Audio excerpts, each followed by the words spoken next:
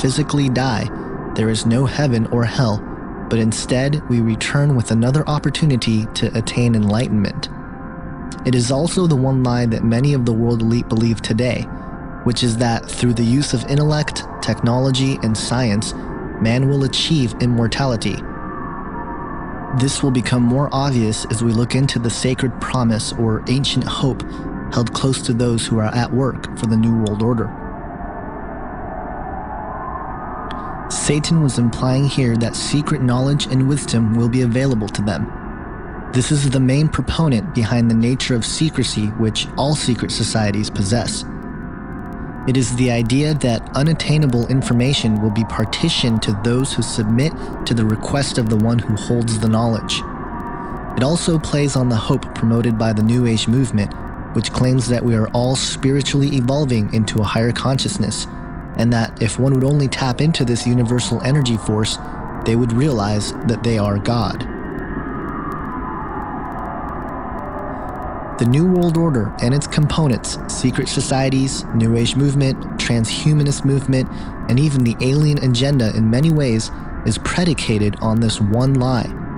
The idea that man would become God is the elusive carrot on a stick that has been behind many, if not all, of man's attempts to acquire power, authority, and dominion over the masses while conquering death and nature in the process. Furthermore, we can trace ideas like pantheism and the concept that God is a force, or that everything within the universe is God and thus we are God, back to this lie. It is the ultimate deception because it plays on human pride. It is the driving force behind ideas such as morality is relative and karma. It is the denial of evil and accountability to sin. This is the core of the Luciferian doctrine it is the blueprint to what the select group of men have been working on for centuries exclusive knowledge to achieve immortality and become gods, all without the help of the Creator God, but by our own use of intellect. As we will come to see, this idea, which goes by many names like the Sacred Promise and an Ancient Hope, has been sought after by men for centuries. Here's the way they look at it. Here's their metaphor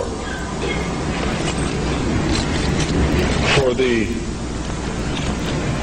end of innocence. Adam and Eve were held prisoner in the Garden of Eden by an unjust, cruel, and vindictive God.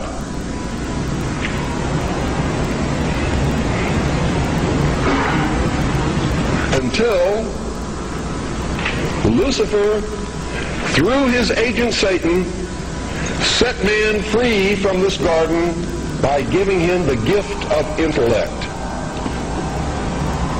Through the use of intellect, man will conquer the earth, will conquer nature, and will himself become God.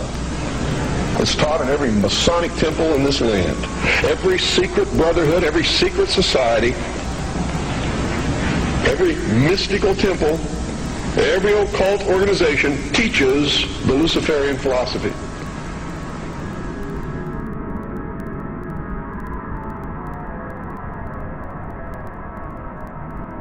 When our founders declared a new order of the ages, they were acting on an ancient hope that is meant to be fulfilled. I believe and there's, if you read esoteric wisdom philosophers and teachers and so on, this ancient hope is the idea that there has been uh, a plan, an ambition contained within secret societies for thousands of years to resurrect the lost empire of Atlantis. Uh, and for those who don't know, the whole idea of the new Atlantis and the New World Order and the New Order of the Ages are, if you read the writings of these societies, they are all one and the same thing. The ancient hope, of which Bush refers to in his second inauguration speech, demonstrates that Bush, or at the very least the authors of his speech, are well aware of the plan initiated by an ancient occult hierarchy now operating as secret societies to forge a world empire. The promise to those who help build this empire is that they will attain godhood themselves and become a part of a family of perfected human beings. Manly P. Hall, a 33 degree Freemason, an occultist and regarded as one of the greatest authorities on the topic of secret societies and Freemasonry in particular, reveals in his book, The Secret Destiny of America, quote, in this way, the old dream of the philosophic empire descended from the ancient world to modern time. Secret societies still exist, and regardless of the intemperance of the times, they will continue to flourish until the quest is complete. For more than 3,000 years, secret societies have labored to create the background of knowledge necessary to the establishment of an enlightened democracy among the nations of the world. End quote.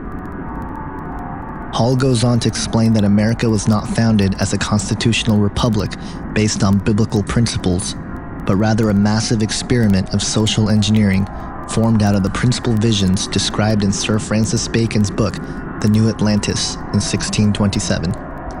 The basic principle was that the goal of attaining human perfection and a utopia that would come with it is the ultimate plan put forth and worked on since antiquity. He goes on to say, quote, the supreme human purpose is the perfection of man. This must come first, and when this end has been achieved, all good things will inevitably follow. End quote. These principles all stem back from what is known as the ancient mystery school teachings.